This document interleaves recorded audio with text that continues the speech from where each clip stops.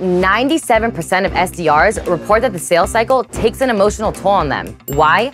Because 30% recall being treated unkindly by irrelevant, angry prospects.